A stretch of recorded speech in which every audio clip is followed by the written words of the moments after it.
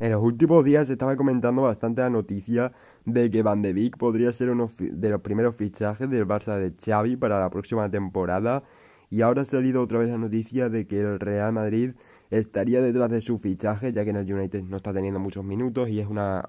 una ocasión que quieren aprovechar tanto el Real Madrid como el Fútbol Club Barcelona para fichar al medio centro que estuvo dando un grandísimo nivel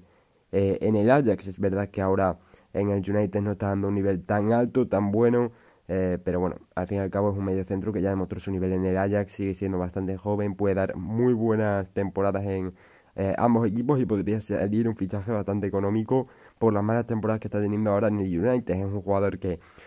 sí que se ha demostrado que tiene bastante calidad, lo ha acabado de demostrar en el Ajax, después es verdad desde que ha llegado al United hace dos temporadas pues no está dando un nivel eh, demasiado bueno, pero al fin y al cabo, si lo acabas fichando por un precio bastante bajo para su nivel y te acaba saliendo un fichaje rentable, que acaba teniendo bastantes minutos, que te da eh, buen rendimiento al fin y al cabo, yo creo que podría ser un fichaje bastante económico. Es verdad que tampoco de rendimiento asegurado, pero yo creo que sería un buen fichaje.